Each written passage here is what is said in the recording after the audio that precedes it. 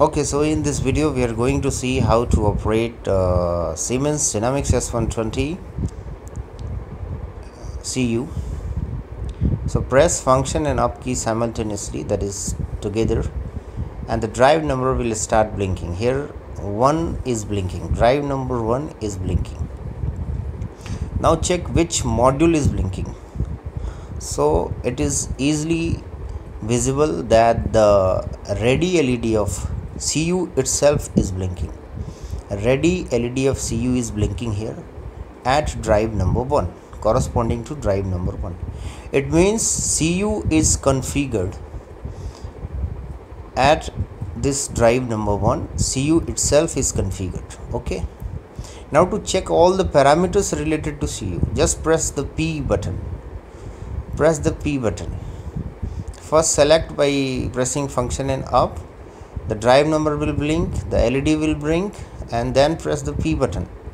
So the pressing the p button allows you to enter into the parameter list. Now here is the parameter r0 now to navigate through the parameter list just press up and down button and you will navigate through all the parameter related to this selected drive number 1 so this is parameter 5 parameter 4 parameter 6 p6 p7 right? These are the parameters which we can actually change we can actually manipulate. Now this is 11 parameter 11 hmm. 9 now the 10 is missing. Here is a trick. Uh, 6 5 4 why few parameters are missing that I will tell you in this video?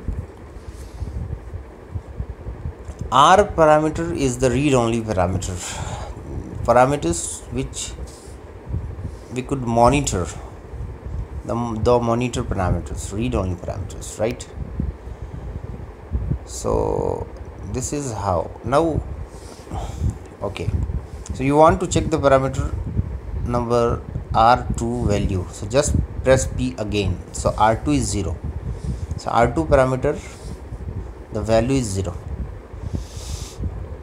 press p again back to r2 press the up key and you see that this is parameter 3 now what is there in parameter 3 you want to check? Press p. Press the p button and you will see the value of the parameter 3 okay? Okay now the home screen to return to the home screen r0 come to r0 parameter and press the p button. So you return to the home screen actually. Okay? R0 0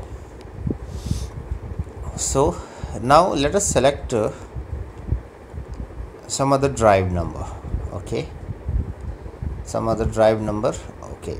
So here we are in the drive number 1 itself at 1 the CU is there at drive number 1 CU itself is configured at drive number 1 so these are the parameters related to CU this is R18 R19 okay. So these are all monitor parameters or read only parameters R and P are the parameters which could actually change so this parameter value is shown over here. This is 250322 okay. Very uh, easy and convenient to operate. So this is R18 now to know about the description of this parameter is the meaning of these parameters you you simply need to refer the standard manual which is easily available on the internet you can you simply download that manual and you could get the idea of idea regarding the meaning of these parameters okay? So there are many parameters but few are of uh, of frequent use and important really important one now press this function and up key again we want to go into some different drive number. So I am pressing here function and up key again. So now this drive number 1 is blinking. Okay. 1 is blinking. Now press the up key and select this drive number 2 so now drive number 2 is blinking. Just check all the modules connected with this CU check the ready LED which ready LED is actually blinking?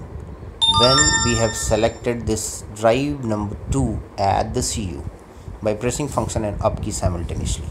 So this LED is now healthy it is green it is not blinking CU LED is not blinking. So definitely drive number 2 is not CU now here are few motor modules.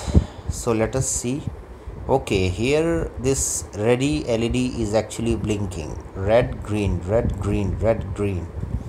So this module it means this module this motor module is actually configured at drive number 2 in the CU so this is very clear from here. So whenever we are accessing the parameter related to drive number 2 means we are we are actually accessing parameter related to this particular module. Okay? So 2 is blinking. We have identified which module is this. Press the p button to enter into the parameter list. So just press the p button to enter into the parameter list so I have pressed P button here okay. Just see what happens. So first parameter R0 which is a monitor parameter read parameter okay. So now by pressing up and down key we can access all the parameters R2 okay. R2 r2 the value is 0 now press up parameter number 5 p5 p6 p10 p13 p15 p20 r20 sorry. And what is the value at r20 press p to know this 0 okay. 0 0.2 0.1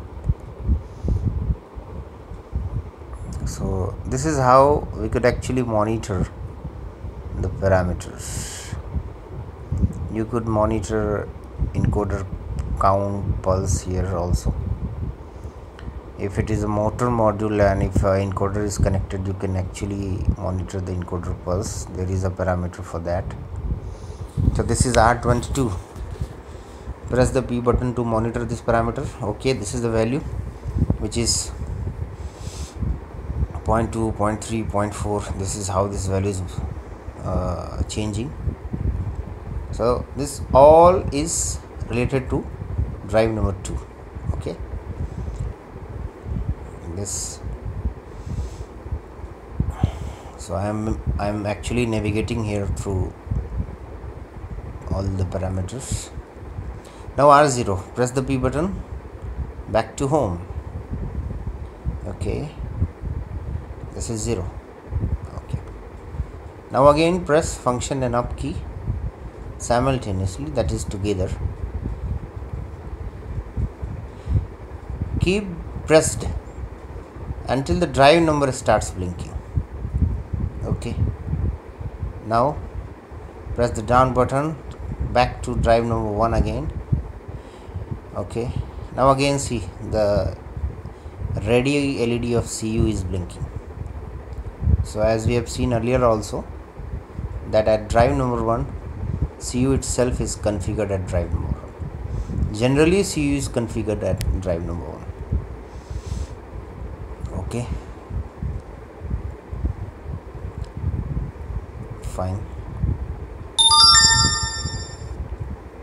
If you want to see the extended list of parameters just select the CU press the P button and go to the parameter 3 change the value to so to to see the extended list of parameter just select the CU and press P button select parameter number 3 P3 press P button again and change the value of P3 to 3 so setting the value of P3 equals to 3 in the CU